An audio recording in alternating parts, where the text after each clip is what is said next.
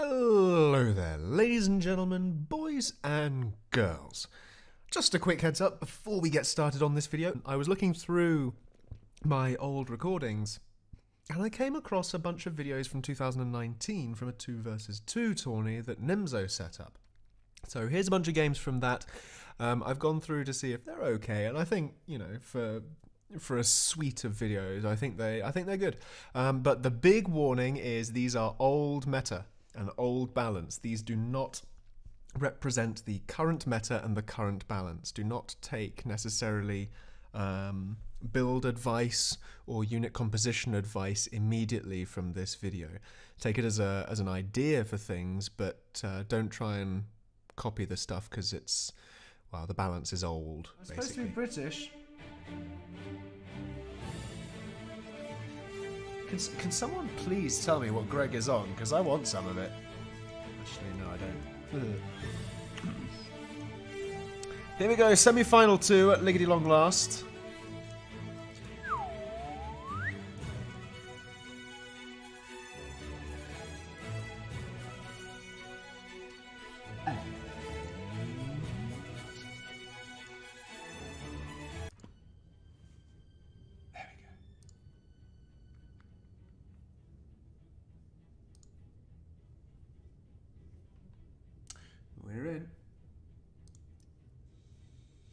Is for the colonies. Huh? That's something I want, wanted to do lately, actually. Not go and make colonies, but uh, get the expansions for Civ 6 and maybe play a game of that. I have the base game, but I don't have the expansions, and I hear the expansions are pretty decent. Civ is a nice chilled game, which I would definitely be up for.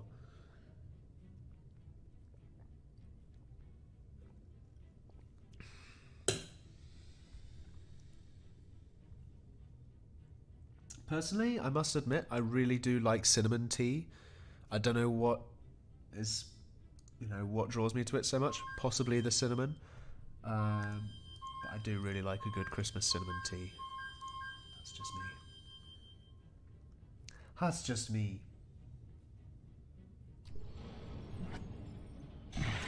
Here we go then. Team Red on the South Pole. Is that the South Pole? No, it's the North Pole. Team Red is on the North, and Team Blue is on the South. Team Red, they got Pen Corgi and uh, the Savant. And down on the South in Blue, they got Dirty Apples and Killer Pumpkin for Spooky Month. He's gone all Killer Pumpkin instead of Kiwi. Alright.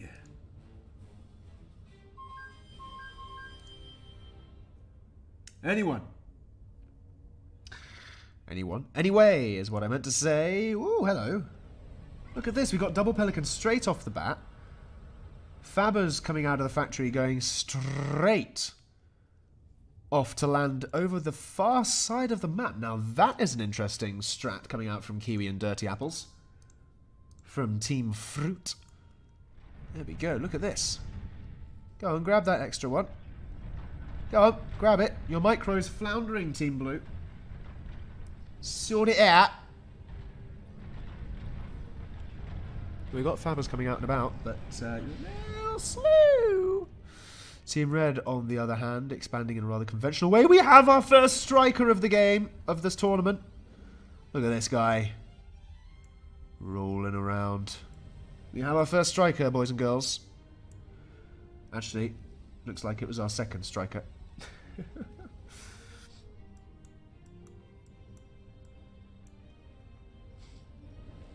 Gosh. So we got one Fabber all the way up there already, turtling himself in. We still haven't had that second uh, fabricated picked up, and there we go. Where's that going? It's not going to drop there, surely. He could have walked in that time. Uh, oh well, I guess it makes sense to do something. We've got another couple of fabs here, though. Can we get Pelicans coming in to save them? That is the question. They possibly don't need saving, though. The Ants and the Dox come in to save the day. The couple of fabs. Oh, there one goes from the south.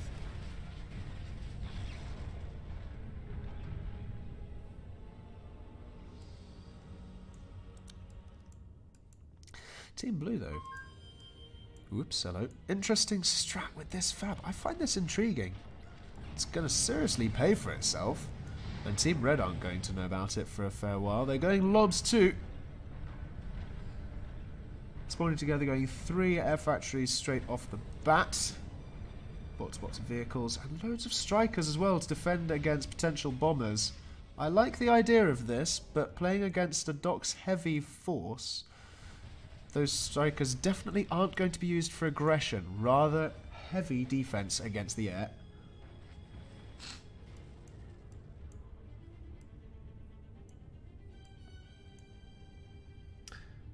Gosh, chat, you guys are really arguing about tea. I must admit, someone at work brought back from, I think it might have been the States, actually, cookie tea. It was broken cookie crumb flavoured tea. Only in America could you come up with such a thing.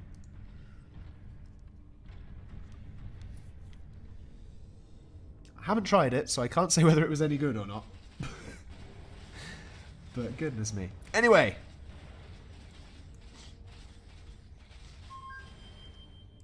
As for any more jokes and conversations about tea, you can bag it up and put it away somewhere.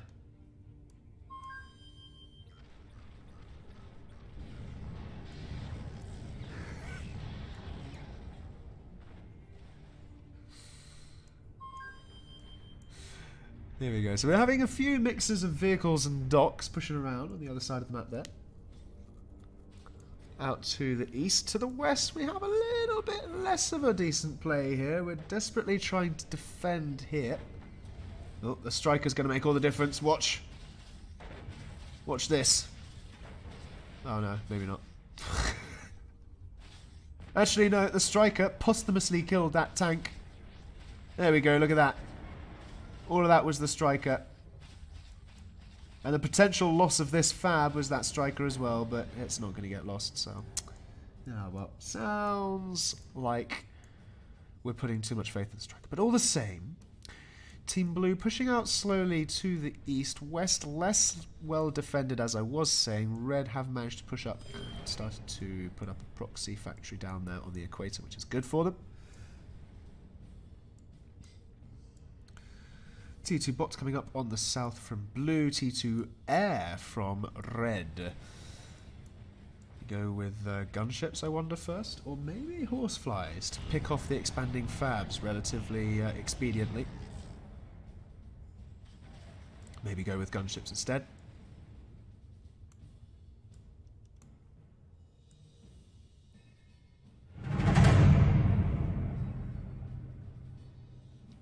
Thank you for the follow, mustn't panic. Don't panic, Mr. Mainwaring. Don't panic. Oh, look at this. This this striker force. I'm not entirely sure Team Red are aware how to play strikers. You don't really tend to send them in against tanks like this. It's not going to work. It's not going to work. No. Not going to work. They're popcorn units. Pop, pop, pop, pop, and gone. Barely a scratch.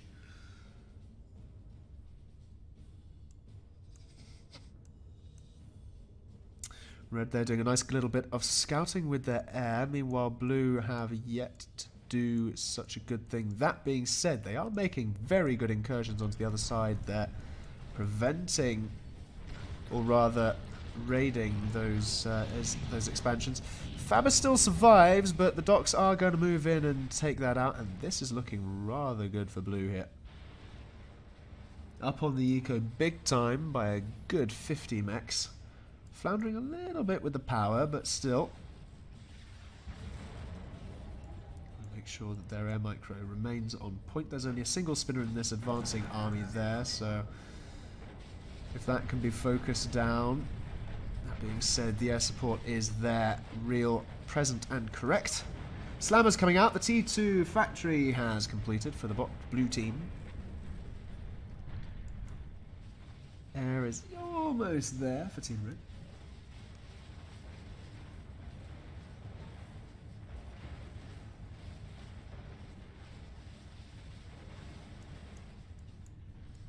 Guys, why are you arguing about biscuits? You need to be arguing about scones.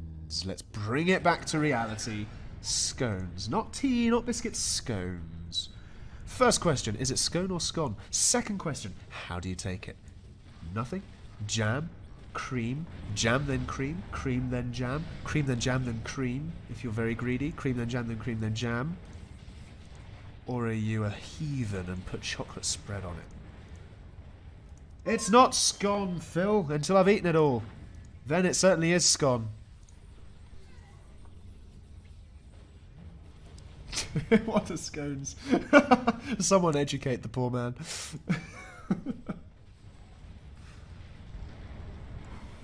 oh dear.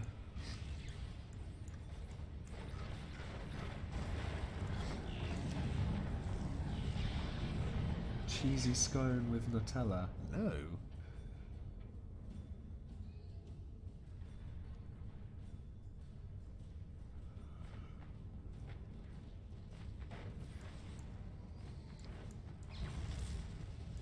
Blue doing pretty well here with their advancing armies. Red finally managing to shore up their uh, their frontiers. They've managed to lock them down pretty handsomely, and you can see in the army tab there.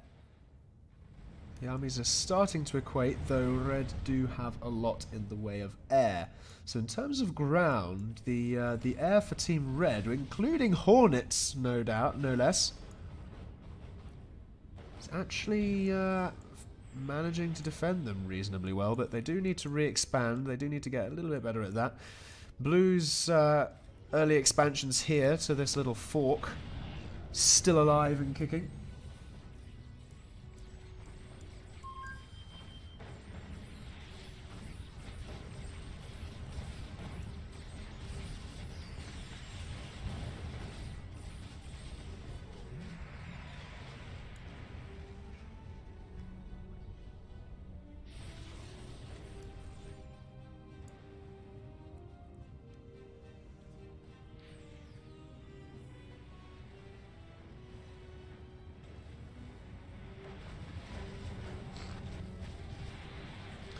So here, we had a very strong blue early game, but their momentum is stalling a little bit.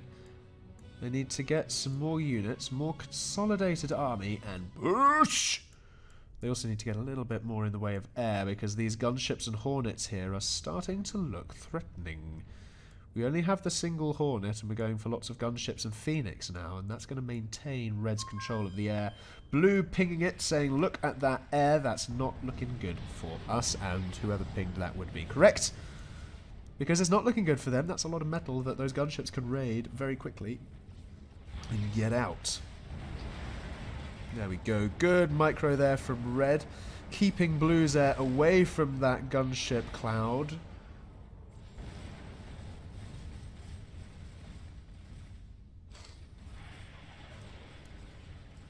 That being said, this little force here, that is not quite so little, has to deal with mines. Have we got any detection in there?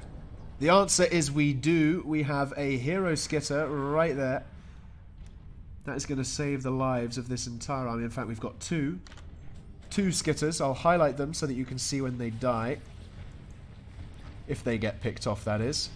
Although it's not going to matter too much anymore because the mines are mostly gone. But those skitters are providing a huge amount of vision which is going to be very, very good for these slammers to use their maximum range. Go, keep them alive, back away from that commander a little bit. We don't want to lose half of this army against that commander there. Look at all of that air from red that is uh, looking very idle, not doing a huge amount. That commander probably could have walked into that army and taken out a little bit more of it. But ultimately, Red's army, as we did note earlier, the ground numbers were not there. Most of it was in the air, and the ground has fallen away. Where's it gone? Well, I don't know. I didn't say Skittles, I said Skitters.